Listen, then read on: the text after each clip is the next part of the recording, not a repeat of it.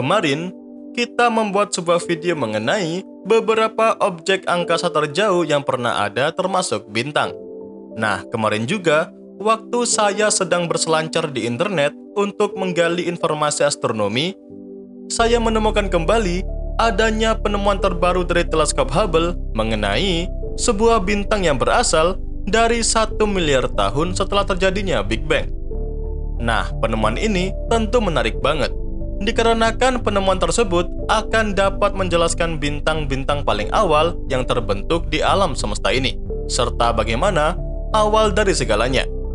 Hmm, tapi seperti biasa, sebelum kita terlalu dalam untuk membahasnya, lebih baik kita putar dulu intronya.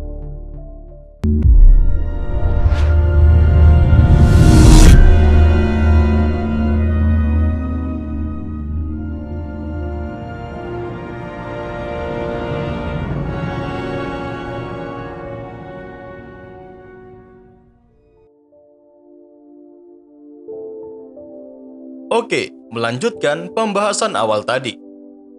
Jadi penemuan menakjubkan tadi dinamai Earendel atau dalam sebutan teknisnya adalah WHL0137LS. Dalam pengamatannya, setidaknya bintang ini memiliki 50 kali masa matahari dan jutaan kali lebih terang.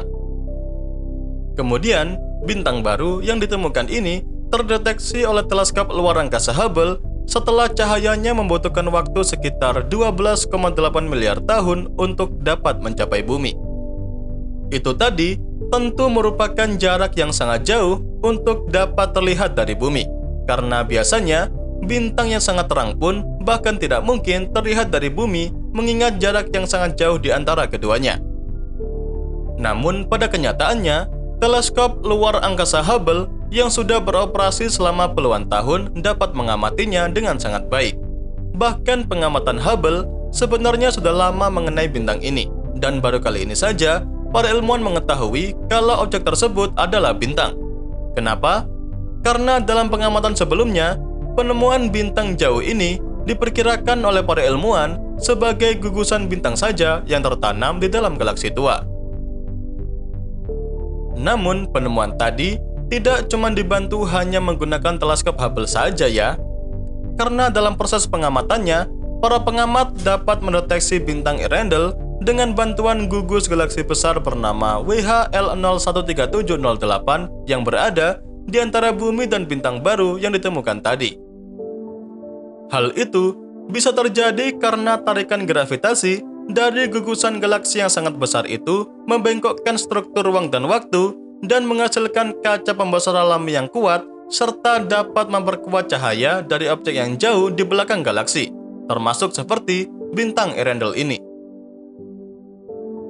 Namun meskipun begitu, para ilmuwan dalam tim misi Hubble menekankan bahwa penemuan ini bukanlah objek terjauh yang pernah ditemukan oleh para ilmuwan menggunakan teleskop Hubble.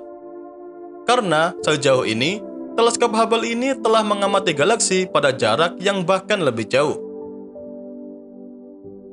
Namun selain itu, para pengamat juga telah melihat cahaya dari jutaan bintang menggunakan teleskop Hubble yang jaraknya bervariasi, serta terlihat tercampur menjadi satu seperti gugus bintang.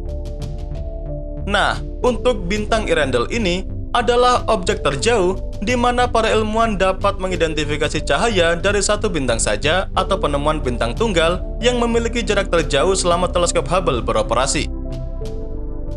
Kemudian, Mengingat masa bintang ini yang sangat besar, kemungkinan saat ini bintang Earendel sudah musnah karena bintang yang lebih masif cenderung akan membakar bahan bakarnya lebih cepat dan membuatnya meledak menjadi supernova atau runtuh menjadi lubang hitam.